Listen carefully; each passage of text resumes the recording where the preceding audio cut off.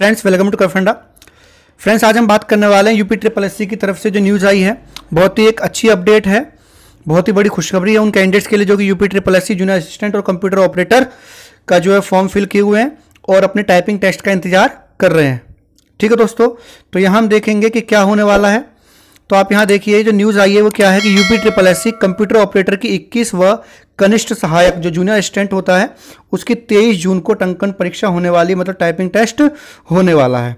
तो है ना, खुशखबरी की न्यूज़ तो जल्दी से इस वीडियो को शेयर कर दीजिए अपने फ्रेंड के साथ, ताकि उनको भी ये न्यूज़ मिल सके और हमारे चैनल को सब्सक्राइब कर लीजिएगा, ताकि आपको ऐसे ही नए नए अपडेट्स मिलते रहें। ठीक है दोस्तों, एक बार मैं आपको बता देता हूँ कि कंप्यूटर ऑपरेटर की परीक्षा इक्कीस जून को होगी और जो जूनियर असिस्टेंट है, उसकी परीक्षा तेईस जून को होगी टाइपिंग टेस्ट ठीक है दोस्तों तो इंतज़ार कीजिएगा इसके एडमिट कार्ड का, जो कि जल्दी ही मैं आपको अपडेट करा दूँगा। Thank you